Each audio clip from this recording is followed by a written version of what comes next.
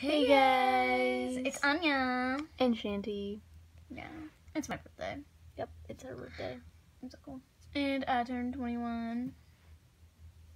And, okay, so from Shanty, I got this thing right here. And then from all the signatures, I got this necklace. Yep. Okay, so chocolate chip cookies for now you snack. have to share a fun fact. Oh, yeah. Um,